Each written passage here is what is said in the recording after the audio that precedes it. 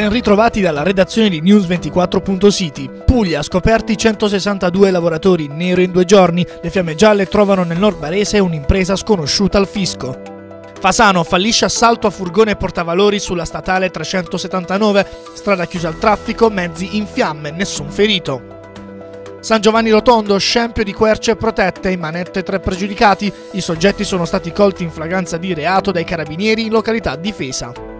Putignano arrestato ladro seriale di supermercati. L'uomo di 30 anni aveva rubato 300 euro di alimentari in tre supermercati.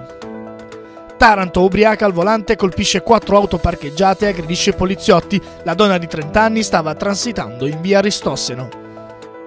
Bari, in volo da Bari a Parigi con Air France. Nuovo collegamento da luglio a settembre, previsti 5 voli a settimana verso l'aeroporto Charles de Gaulle.